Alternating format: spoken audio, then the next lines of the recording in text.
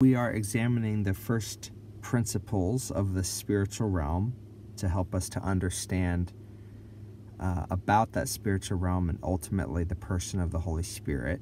And so, in laying down the groundwork to try and understand spirits and personal spirits, I want to talk about geographic spirits.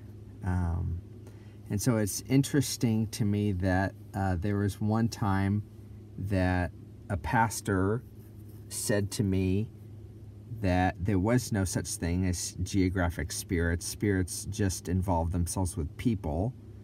And because of that, the spirit just needed to be casted out, cast out, and then it would be done.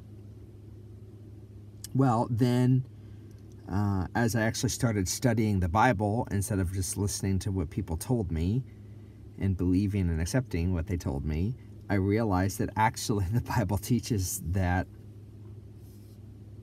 there are geographic spirits, and um, I think that there are many examples of this. I'm going to give three, but I just want to make a point before I do that that that people, and so you're a person, I'm a person, but also Satan is a person, the archangel Gabriel is a person, um, the um, angel, whatever angel is a person, whatever demon is a person, they are persons. They have a, a fixed beginning. In other words, they aren't eternal. There was some point whenever they didn't exist, and then another point when they started to exist, right? And they also are not um, omnipresent, which means that just like you do not fill the universe, you don't even fill your house, you don't fill your town, right? You don't fill your state, like not even remotely close. Um, neither does anybody else. There may be people that are bigger than you. For example, um, there may be a principality spirit that is way up in the heavenly realms and is way bigger than you are and way bigger than I am, but they still finite, right? And they don't um, they don't fill the entire earth. They only are in sort of like a part of the earth. And so, um, my point in saying all this is that persons are inherently tied to geography because they can only be in one place at one time. You can't be here in Japan at the same time, and the human mind and and uh, the rational human spirit or any rational spirit cannot make sense of two things being in two different places at the same time, right? So, um, and so you know, like God, God being omnipresent and filling the entire universe, I'd say that's super hard for us to understand because that's just um, not not our experience of things because we are, um, as I have already stated, finite beings. And so the first um, scriptures that I want to read are out of Daniel um, chapters 10 and 12. Um, so 10 verses 12 to 21. So Daniel is fasting and praying for God. And God sends an angel to meet Daniel, and we learn about um, what happened to this angel in the process of going to meet Daniel. So, Daniel chapter 10, verse 12. Then he said unto me, Fear not, Daniel, for from the first day that thou didst set thine heart to understand and to chasten thyself before thy God, thy words were heard, and I am come for thy words. But the prince of the kingdom of Persia, this is a demonic spirit, right? And you listen to the properties of it and you learn. Um, the prince of the kingdom of Persia withstood me one and twenty days, but lo, Michael, one of the chief princes, came to help me. We learn from Paul and First Thessalonians and elsewhere that Michael is an archangel so then we're getting additional clues that we're talking about something spiritual here and not just like little princes starting about or whatever. Michael, one of the chief princes, came to help me, and I remained there with the kings of Persia. Now I am come. Um, and of course, you know, this this is an angel that's visiting Daniel, right? Okay. Now I am come to make thee understand what shall befall thy people in the latter days. For um, yet the vision is for many days. And when he had spoken such words to me, I set my face towards the ground, and I became dumb. And behold, one like the similitude of the sons of men touched my lips, and I opened my mouth and spake, and I said unto him that stood before me, O my Lord, by the vision of sorrows are turned upon me, and I have retained no strength. For how can the servant of this my Lord talk with this my Lord? For as for me, straightway there remained no strength in me, neither is there no breath in me. Then there came again and touched me one like the appearance of a man, and he strengthened me, and said, O man greatly beloved, fear not, peace be unto thee, be strong, yea, be strong. And when he had spoken unto me, I was strengthened, and said, Let my Lord speak, for thou hast strengthened me. Then said he, Knowest thou wherefore I come to thee? And now will I return to fight the prince of Persia. So we have an angel fighting this prince of Persia. And when I am gone forth, lo, the prince of Grecia, Greece, shall come forth but I will show thee uh, that which is noted in the scripture of truth, and there is none that holdeth with me in these things but Michael your prince. Um, and then uh, Daniel 12, chapter 12, verse 1. At that time Michael shall stand up, the great prince which standeth for the children of the people, and there shall be a time of trouble, such as never was since there was a nation even to that same time. And at that time thy people shall be delivered, everyone shall be found written in the book. And so the, the point of me reading all of this is to recognize that an angel is speaking to Daniel, that an angel in his um, process of trying to get to Daniel withstood me one and 20 days. So uh, three weeks he was trying to get to Daniel, but, but something withheld him. Of course, we know that it's absurd that, that a man, even a prince or a king, could stop an angel. Um, we know there are examples in the Bible of one angel with a flaming sword getting ready to destroy uh, Jerusalem, an entire city. And so the idea that one little man, even if he is a king, can stop an angel is absurd. I mean, it's utterly absurd. The angel can just stay invisible and the king would never even know the difference, right? So, um, we have the man talking to Daniel, which is an angel. We have the prince of the kingdom of Persia, which is an adversary. We have Michael, who is an uh, archangel, one of the chief princes, came to help me. And then we know that there's another prince of, of Grecia, Greece. And then we also tie, um, read in 12.1 that uh, Michael is a great prince which standeth up for the children of thy people, which is Israel, right? And so Im immediately reading this, we have three spiritual powers which are tied to geographical regions Grecia, Persia, and Israel. And of course, it makes sense.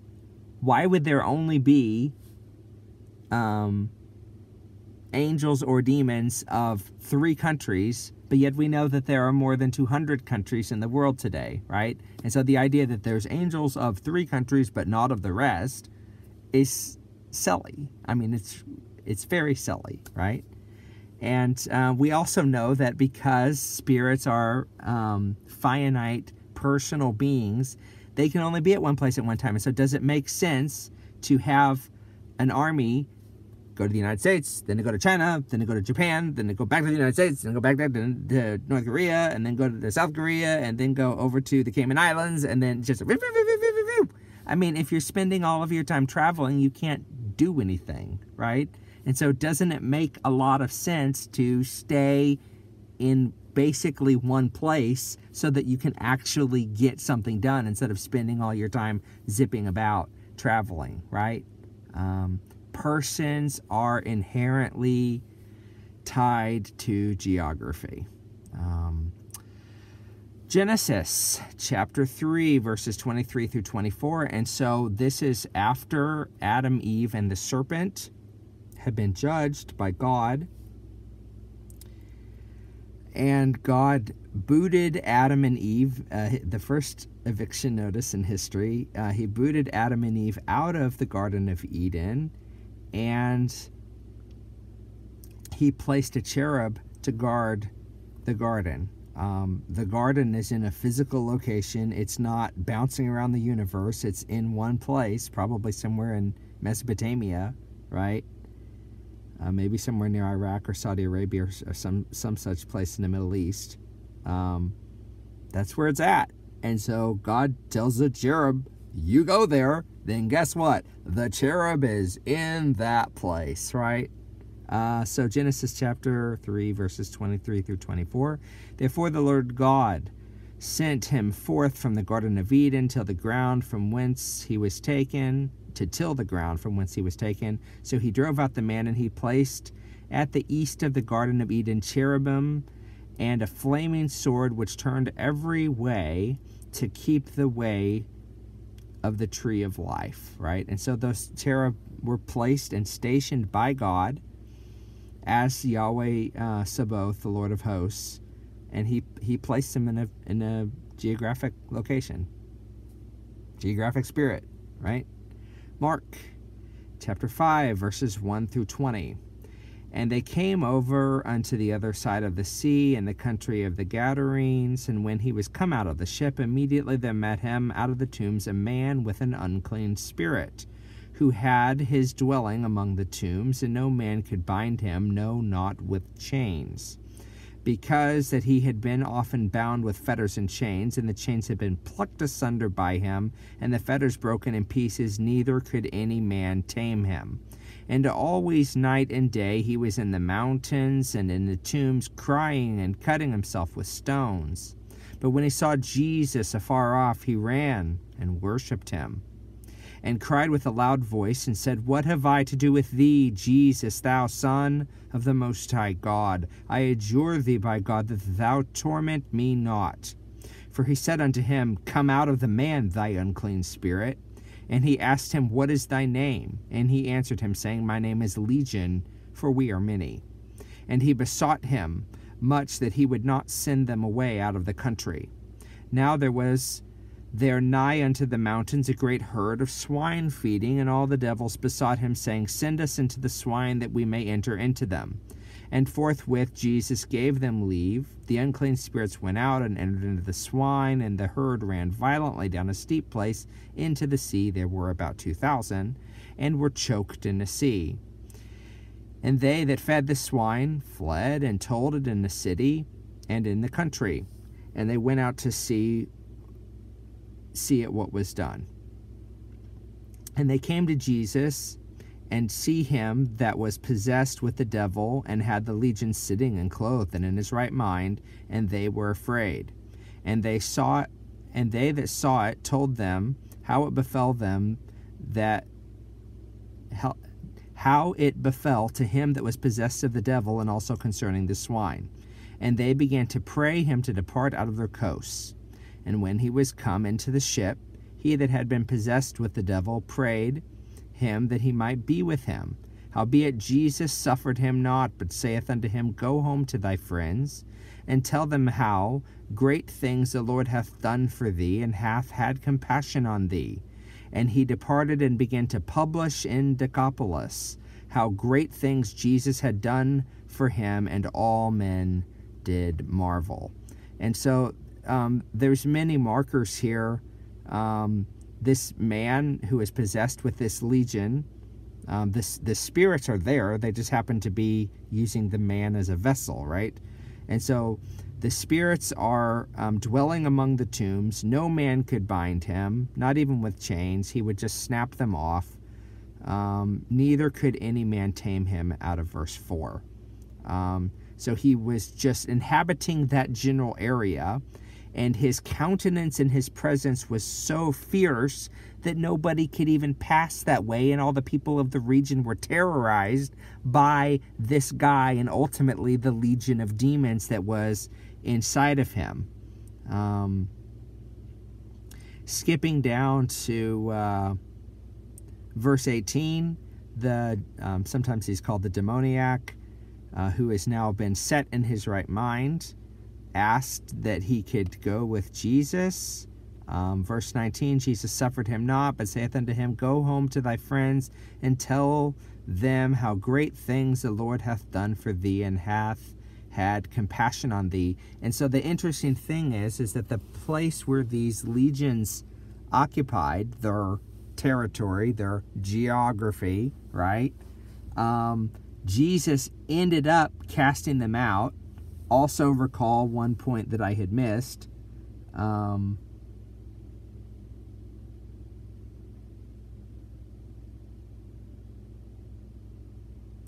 Verse 10 And he besought him much that he would not send them away out of the country, like somewhere far away, because that's where they were stationed, right? That was their place. That was where they were supposed to be. And so they didn't want Jesus interfering with their plans, though he's God and he can, you know, they clearly recognized his supremacy. Don't torment me, right? Uh, they wanted to stay where they were at. Right? There was a reason why they wanted to stay where they're at. So um, the spirits that had had such great influence of uh, terror, terrorizing the people of this region, ended up being cast out. You know, why would they want to go in a bunch of animals and then drive the animals to be drowned and then, you know, what after that? I don't know. Um, but so the spirits are cast out of the region, and then Jesus sends a messenger, an ambassador of the kingdom, to preach in the very same area that uh, he had experienced deliverance, and perhaps by implication, um, that they could experience deliverance as well. Basically, he's preaching the gospel to them. And so, um, these are three different examples of spirits inhabiting geographical regions because they are personal and finite beings just like you and me.